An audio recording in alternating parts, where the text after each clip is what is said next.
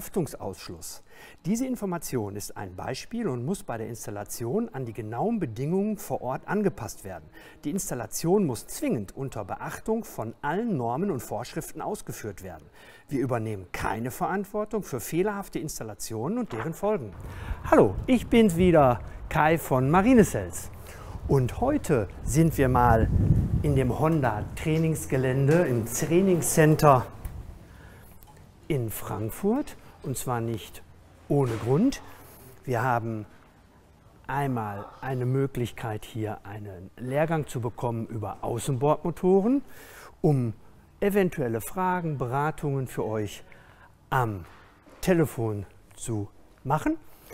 Beziehungsweise haben wir hier die Möglichkeit, euch zu zeigen, wie man den Honda Stromerzeuger als Notstromaggregat an einen, an einen Haushalt anbinden kann. Und das werden wir euch jetzt hier mal zeigen. So, hier haben wir jetzt die Haushaltsversorgung. Die besteht aus drei Phasen. Die haben wir hier einmal mit drei verschiedenen Glühkörpern zur Geltung gebracht.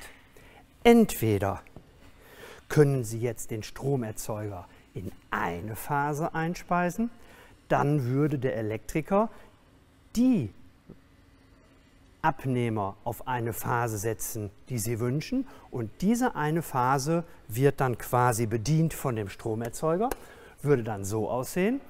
Dann könnten Sie unter anderem von der Firma Mennekes diese Einspeisung nehmen. Die ist allerdings nur bis 32 Ampere und deswegen ist das für eine Phase gedacht.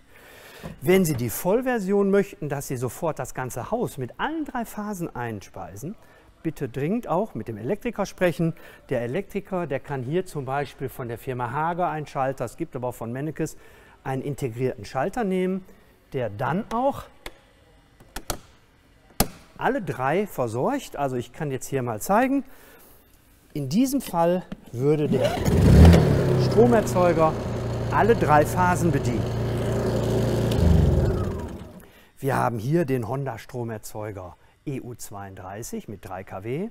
Es würde genauso auch der EU22 mit 2 kW oder der EU10 mit 1 kW funktionieren. Das hängt davon ab, welche Abnahmemengen ihr in der Not haben möchtet.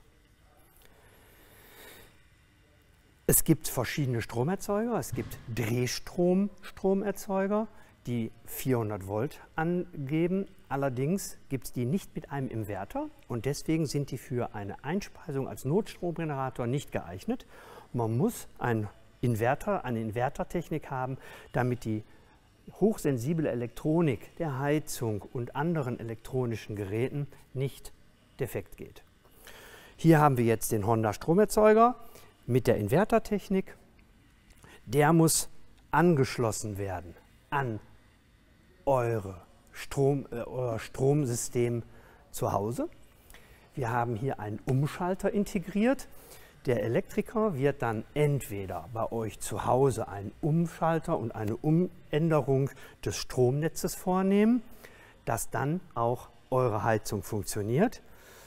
Entweder macht man das integriert in eurem Stromkasten die Alternative. Wir haben hier mal eine extra Geschichte, die wir anbieten aus dem Hause Mennekes, wo man dann wählen kann zwischen der Netzversorgung oder, wenn das Netz ausgeht, mit der Notstromversorgung. Ganz wichtig, wenn ihr einspeist, es muss der Stromerzeuger mit der Potentialschiene des Hauses verbunden werden. Die müsst ihr in eurem Haus suchen, finden oder ihr wisst, wo sie ist. Jedes Haus hat diese Schiene und dort muss quasi eine Erdung vorgenommen werden. Ganz wichtig, wenn ihr den Stromerzeuger mit der Erdung verbindet, mit eurem Haus, dann wird auch automatisch der Personenschutzschalter aktiviert und dann darf man auf gar keinen Fall die zweite Steckdose benutzen. Die muss komplett erledigt, weil die hat keine Sicherung dann. Also nur diese eine und die ist hier drüber dann abgesichert. Aber wie gesagt, ganz wichtig, den Elektriker fragen.